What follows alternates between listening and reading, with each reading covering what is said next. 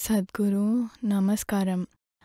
మనని మనం ఎలా అంటే ఒక బాధ పెట్టే జీవిత భాగస్వామి ఉన్నప్పుడు మనం ఏం చేయాలి? నాకు మీరు అతన్నేం చేయాలని అడుగుతున్నారా లేక మిమ్మల్నా? నా గురించే. లేదు. మీరు ఆయన్ని మార్చాలనే కదా అడుగుతున్నారు. లేదు సద్గురు. ఇది నిజంగా ముఖ్యం. నేను మీతోనే మాట్లాడుతున్నాను ఇప్పుడు కూర్చోండి. జీవితంతో మనం తిన్నగా ఉండటం చాలా ముఖ్యం. అర్థమైందా? మీకు కావాల్సింది మీ భర్త మారటం. కానీ మీరు నా ముందు కూర్చున్నారు కాబట్టి మీరు నన్ను సద్గురు నేను ఈ బాధలో ఎలా అంటున్నారు. అది నిజం కాదు. మీరు అతన్ని ఎలా సరిచేయాలో తెలుసుకోవాలి. అవునా కదా చెప్పండి? ఇక్కడున్న ఆడవాళ్ళంతా.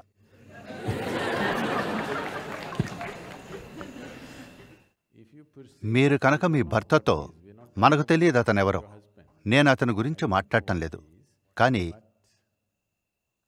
మీరు అతను ఇబ్బంది పెడుతున్నాడు అనుకుంటే సహజంగానే మీరు అతన్ని మార్చాలనుకుంటారు. అవునా? ఒకవేళ మిమ్మల్ని మీరు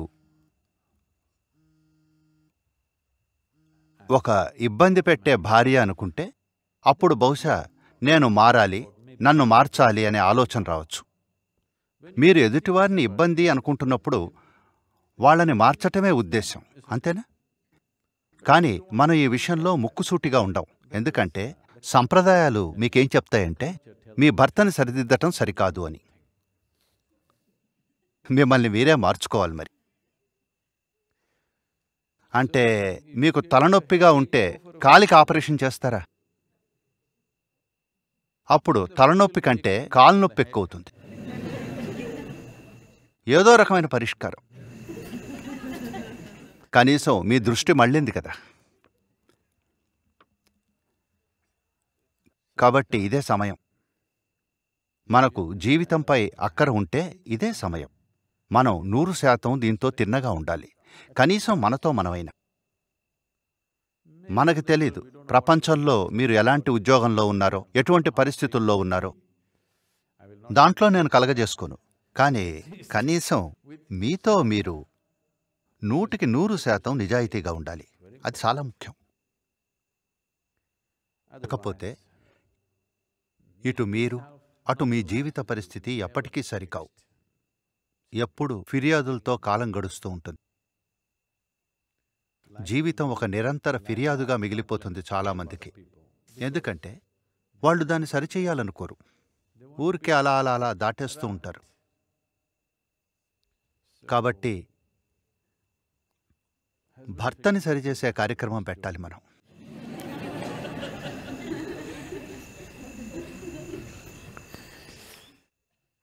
లేదు మనం చాలామందిని సరిచేసాం సరిచేశాం. వాళ్ళు ధ్యానపరులుగా మారిపోయారు ఉన్నట్టుండి. బాధ పెట్టే గుణం పోయింది వారిలో. ఎందుకంటే ఇప్పుడు వాళ్ళు ఇంకో విషయంతో బిజీ అయిపోయారు. నేను మీ వ్యక్తిగత విషయాల్లోకి వెళ్ళదలుచుకోలేదు ఇక్కడ. కానీ మీరు ధ్యాన లక్షణాన్ని మీరు మీలోకి మీ కుటుంబంలోకి తీసుకురావాలి. Into you and into your family. మీరు మీ జీవితాన్ని ఇందులో పొదుపు చేయాల్సిన సమయం ఇది. మీరు మీ భర్తను కనుక సరిచేయలేకపోతే కనీసం రాబోయే కాలంలో కాబోయే భర్తని అలా కాకుండా చూడగలిగితే మీకు ఆ శ్రద్ధ ఉంటే మీ ఇంట్లో ఉన్న మీ అబ్బాయిని ఇప్పుడే మార్చాలి. కాస్తంత ధ్యానంతో. అవును. ధ్యానం అంటే దేనికో వ్యతిరేకంగా అతన్ని మార్చటం కాదు. దాని అర్థం ధ్యానంలో ఉండటం అంటే మీరు సమస్యలో భాగం కాకుండా మిమ్మల్ని మీరు తయారు చేసుకోవటమే. మీరు ఎక్కడ ఉన్నా సరే మీరు ఒక పరిష్కారం అవుతారు. సమస్య కాదు. Not a problem. మీరు ఒక పరిష్కారం అయితే మీరు ఎక్కడున్నా అందరూ మిమ్మల్ని కోరుకుంటారు. మీరు పనిచేసే చోటైనా ఇంట్లో అయినా వీధిలో అయినా ఎక్కడైనా సరే ఎవరైతే పరిష్కారంగా కనబడతారో వాళ్ళనే అందరూ కోరుకుంటారు. మీరు ఒక సమస్య అయినా అయి ఉండాలి లేదా సమస్యల గురించి ఫిర్యాదులు చేసేవారైనా అయి ఉండాలి. అలాంటి వాళ్ళని ఎవరూ కావాలనుకోరు.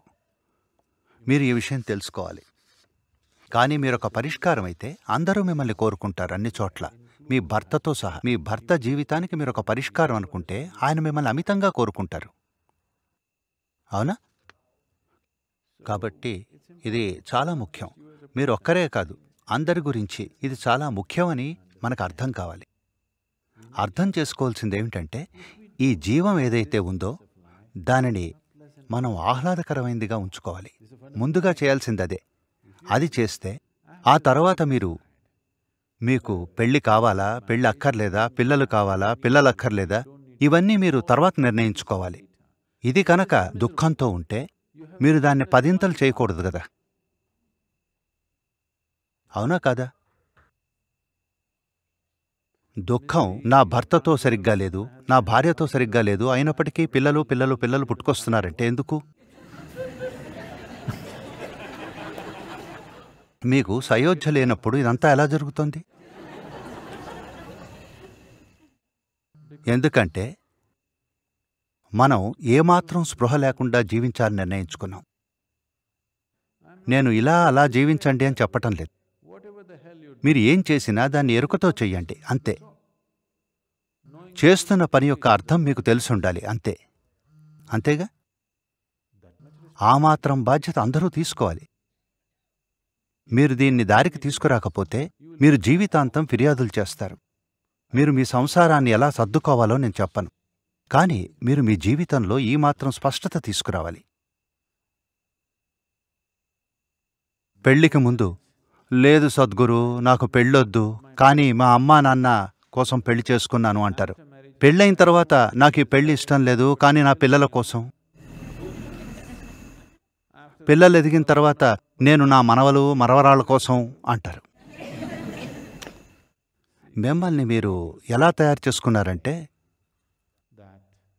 మీరు ఏమాత్రం స్పృహ లేని ఒక ప్రక్రియ యొక్క పర్యవసానంగా ఉన్నారు. ఎరుక కలిగిన ప్రక్రియలో భాగంగా లేరు. మీరు ఎరుకలేని ప్రక్రియకు పర్యవసానంగా ఉంటే మీరొక దుఃఖాన్నిచ్చే ప్రమాదంగానే మిగిలిపోతారు. అవును. ఇదే సమయం. ప్రతి వ్యక్తి ఈ మాత్రం బాధ్యత తీసుకుని మార్పు చేసుకోవాలి. ఆ తర్వాత పెద్ద పెద్ద మాటలు మాట్లాడొచ్చు. మీ ఎరుక శిఖరాగ్రాలకు చేరటం ముక్తి మోక్షం ఇలాంటి పదాలను వాడకండి. తేరగా. ఇలాంటి మాటలు చెప్పకండి. ముందు ప్రాధాన్యాలను సరిచేసుకోండి. ప్రధానమైన విషయం ఒక్కటే. ఇప్పుడు మీరేమిటో అదే మీది. మీకు దాన్ని మార్చే ధైర్యమైనా ఉండాలి. లేదా అందులో ఎలా సర్దుకుపోవాలో నేర్చుకోవాలి. అవునా? అవునా కాదా? మీకు దాన్ని మార్చే ధైర్యమైనా ఉండాలి. లేదా దాంతో సర్దుకుపోవటం నేర్చుకోవాలి. ఈ రెంటిలో ఏదో ఒకటి చెయ్యాలి. ఊరికే మీ జీవితం ముగిసేదాకా ఫిర్యాదులు చేస్తూ కూర్చోవటం వల్ల ఉపయోగం లేదు.